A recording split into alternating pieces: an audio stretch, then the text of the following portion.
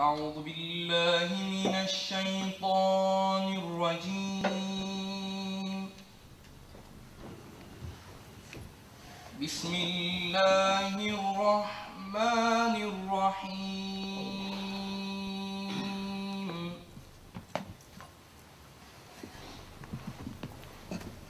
وتلك حجتنا آتيناها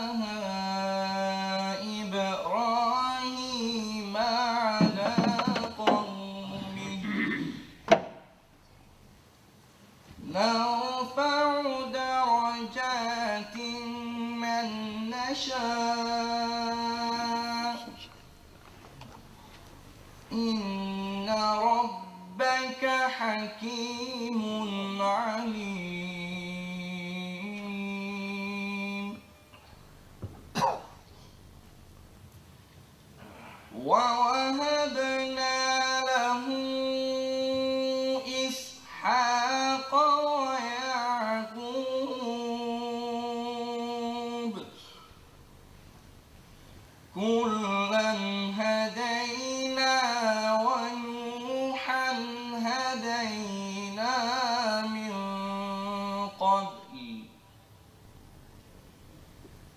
ومن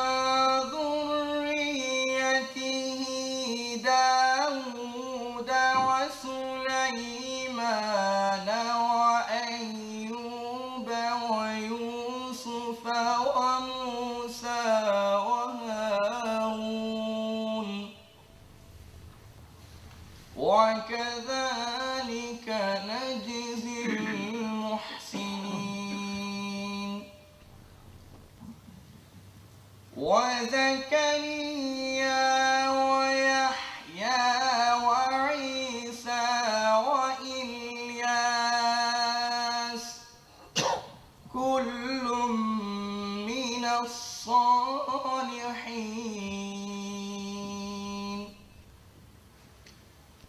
وإسماعيل واليسع ويونس ولوطا. وكلا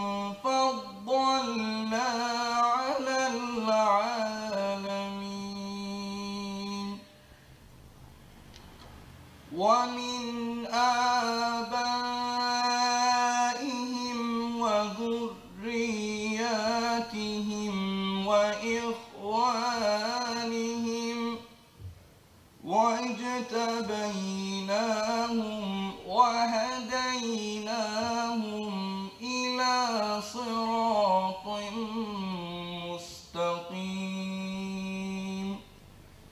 صدق الله العظيم.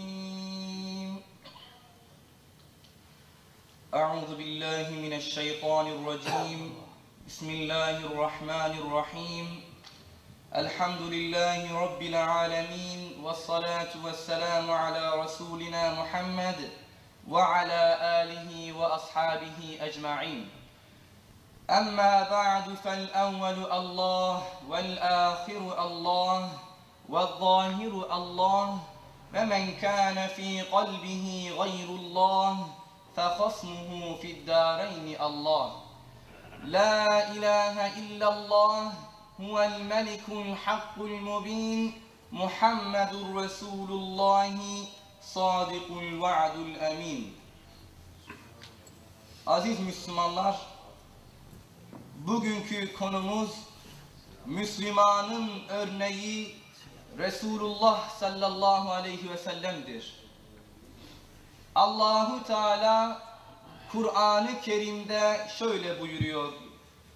لَقَدْ كَانَ لَكُمْ ف۪ي رَسُولِ اللّٰهِ اُسْوَةٌ حَسَنَةٌ لِمَنْ كَانَ يَرْجُ اللّٰهَ وَالْيَوْمَ الْآخِرِ وَذَكَرَ اللّٰهَ كَثِيرًا وقال رسول الله صلى الله عليه وسلم إنما بعثت لأتمم مكارم الأخلاق Muhterem müminler, insanlık tarihinin en güçlü madde ve mana inkılabını yapan, insanlığı küfür ve sapıklık bataklığından kurtararak İslam'ın yüce aydınlığına çıkarmak için 23 sene durmadan, dinlenmeden çalışan ve alemlere rahmet olarak gönderilen tek önder ve tek örnek hiç şüphesiz Peygamber Muhammed Mustafa sallallahu aleyhi ve sellem'dir. O insanlığa Allah'ın bir lütfudur. O Allah'ın son elçisidir. O gönüller sultanıdır. O iki cihanın güneşidir. O insanlık bahçesinin kemal meyvesidir. En yüksek ses onun sesidir. En yüce davet onun davetidir. Onu görmeyen gözler kördür. Onu duymayan kulaklar sağırdır. Onu açılmayan gönüller mühüllüdür. Onu anmayan diller kilitlidir. Bu sebeple insanlık huzur istiyorsa, saadet istiyorsa, dünya ve ahirette kurtuluş arıyorsa, onun davetine koşmaya mecburdur. Milimetrik bir şaşma göstermeden onun izini takip etmeye mecburdur. Kim onun izinden ayrılmışsa perişan olmuştur. Kim onu dinlememişse şaşkınlığa düşmüştür. Kim onun tebliğ ettiği İslam'dan kopmuşsa zelil olmuştur. Kim onun ahlakından uzaklaşmışsa hüsrana uğramıştır. Kim onu örnek almamışsa yolunu kaybetmiş ve uçuruma yuvarlanmıştır. Öyleyse ona açılan kollar, ona yönelen gönüller, onu seven kalpler, onu anan diller ve onun izinde yürüyen ayaklar dünyada ve ahirette mesut olacaklardır. Yüce Rabbimiz okuduğum ayeti kerimede onu güzel bir örnek olarak şöyle takdim etmiştir. Andolsun ki Resulullah sizin için Allah'a ve ahiret gününe kavuşmayı umanlar ve Allah'ı çok zikredenler için güzel bir örnektir. Evet, güzeller güzeli örneğimiz odur. Bütün insanlığın örneği odur. Müslüman onunla yüce ufuklara, sonsuz cennetlere koşacaktır. O bir rahmettir. Müslüman onu yudumlamak için gönül musluğunu ardına kadar açacak ve ondan kana kana içecektir. O bir mekteptir. Müslüman ondan hayatı öğrenecek ve örnek bir kimlik kazanacaktır. O bir şahittir. O bir müjdedir. O bir uyarıcıdır. O bir davetçidir. Ve o nur saçan bir kandildir. Ondan ebedilik ışığı alanlar dünya ve ahirette huzur bulacaklardır. Yüce Rabbimiz yine onu şöyle takdim etmiştir. Ya eyyühen nebiyyü inna erselnâke şahiden ve mübeşşiran ve nezîran ve dâ'iyen ilallâhi biiznihi ve sirâcen munîrâ. Ey peygamber! Biz seni hakikaten bir şahit, bir müjdeci, bir uyarıcı ve Allah'a onun izniyle bir davetçi ve nur saçan bir kandil olarak gönderdik. وَمَا أَرْسَلْنَاكَ إِلَّا كَافَّةً لِلنَّاسِ بَشِيرًا وَنَذِيرًا وَلَكِنَّ أَكْثَرَ النَّاسِ لَا يَعْلَمُونَ Biz seni bütün insanlara ancak müjdeleyici ve uyarıcı olarak gönderdik. Fakat insanların çoğu bunu bilmezler. Öyleyse o Allah'ın birliğine şahittir. Kulların Allah'a itaat ve isyanlarına şahittir. O müminlere Allah'ın nimetlerini ve naim cennetlerini müjdeleyicidir. O inkarcıları ve kötülük yapanları cehennem azabından uyarıcıdır. O Allah'ın izniyle Allah'a iman ve kulluk etmeye çağrıcıdır. O gönülleri cehalet ve şaşkınlık karanlığından aydınlatıcı bir kandil, bir nur, bir ışıktır. Ona layık ümmet olabilenlere müjdeler olsun. Aziz müminler, insanlık sarayının şeref köşesini işgal eden sevgili peygamberimiz miladi 571 senesinde ve Rabi'ül Evvel ayının 12. gecesi sabaha karşı Mekke'de dünyaya teşrif etmiştir. Vücudu tertemiz, sünnetli, göbeği kesilmiş ve peygamberlik mührü sırtına vurulmuş olarak doğan şanlı önderimiz doğumundan iki ay önce babası Abdullah'ı, altı yaşında annesi Amine'yi ve sekiz yaşında da dedesi Abdülmuttalib'i kaybetmiştir. Böylece baba, anne ve dededen yetim kalan peygamberimiz amcası Ebu Talib'in himayesine girmiştir. 20 25 yaşında Hazreti Hatice validemizle evlenmiştir. Bu evlilikten Kasım, Zeynep, Rukiye, Ümmü Gülsüm, Fatıma ve Abdullah isimleri verilen altı çocuğu dünyaya gelmiştir. Bunlardan yalnız Hazreti Fatıma peygamberimizden sonra vefat etmiştir.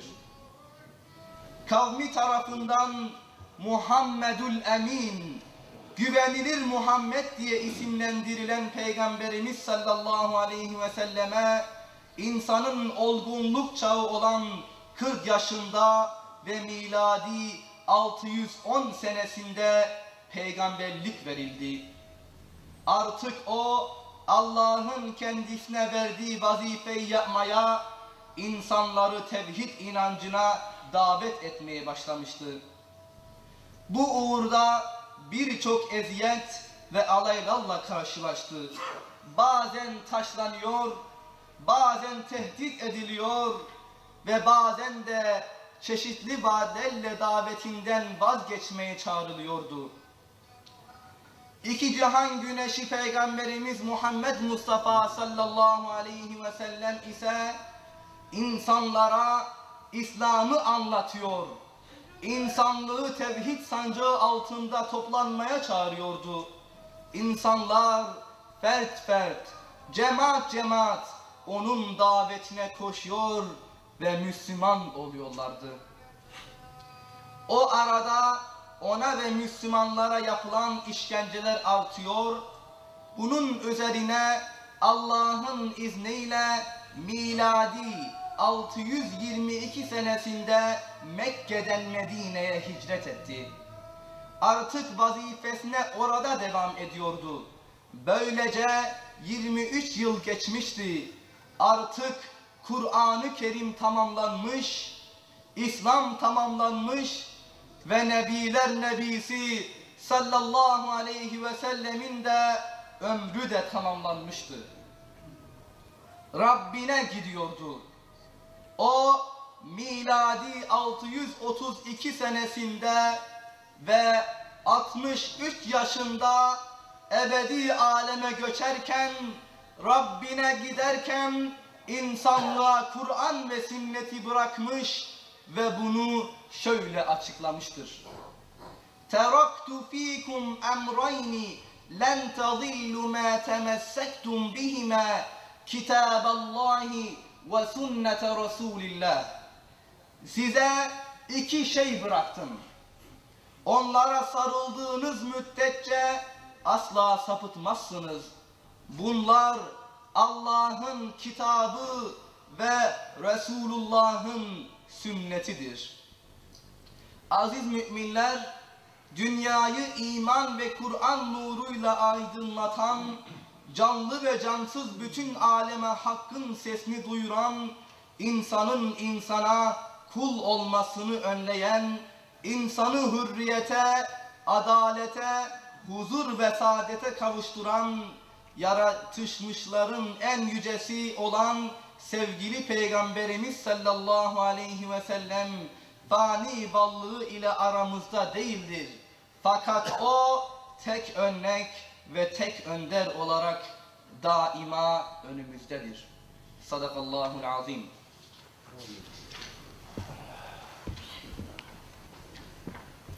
هو الله الذي لا إله إلا هو الرحمن الرحيم الملك القدوس السلام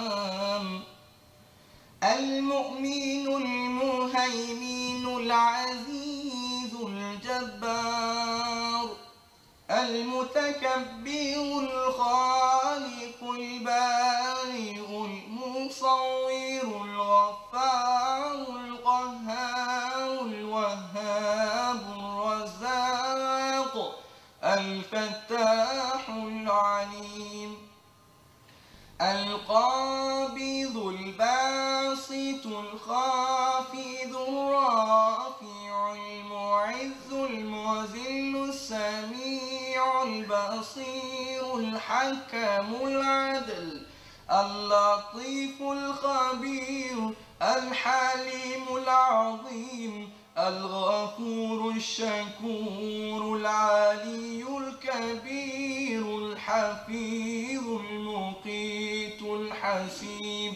الجليل الكريم الرقيب المجيب الواسع الحكيم الودود المجيد الباعث الشهيد الحق الوكيل القوي المتين الوالي الحميد المحصي المبدي المعيد